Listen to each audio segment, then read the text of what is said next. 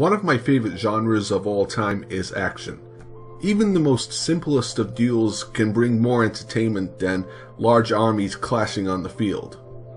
There is a science to frills and chills. At the end of the movie, we want to see our hero or villain draw blood. But sometimes things get diplomatic.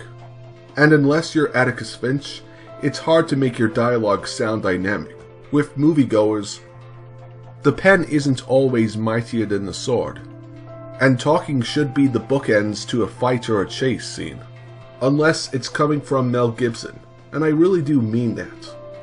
He's the only actor I've seen who can turn his acting into action, and there's three examples of that in his career.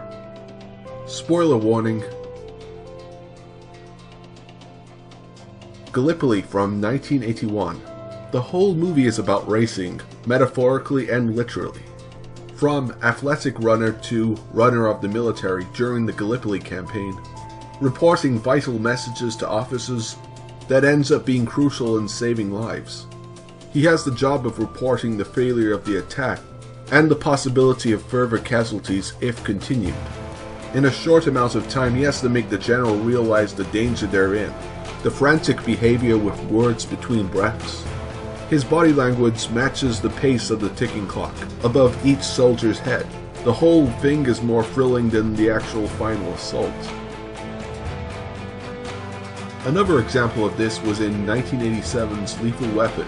Gibson's performance of LA cop Riggs has the job of bringing down a jumper. And of course, what we know of Riggs, they're on the same level. Not just in height, but their mental condition.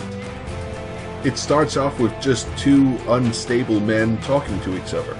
And in the blink of an eye, he turns into the troubled soul that he really is. In an instant, his face reflects all the emotional pain he's holding on to. It's like his expression saying, I've been there and back, and I have no problem throwing it all away. It just doesn't sober up the jumper, but the audience as well. And in his last phase, he's actually happy enough to go along with it, as though he's found his suicide buddy.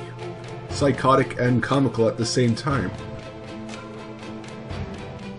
Nine years later, he would put his son's life on the line in 1996's Ransom, with the final negotiating call with the kidnapper, a corrupt cop who is now the most wanted man in the country, due to him changing the game, giving the kidnapper the choice.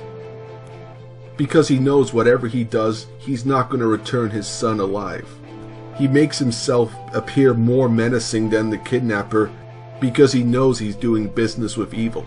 With the rage in his voice, he's transforming from payer to bringer of vengeance, while still sounding like a loving father. Saying, Whatever you do to my son, I can do way worse to you, while still being the voice of reason. It basically comes down to telling the kidnapper, enforcing the idea of whatever threats he makes, he can't win. and that is the method of turning acting into action.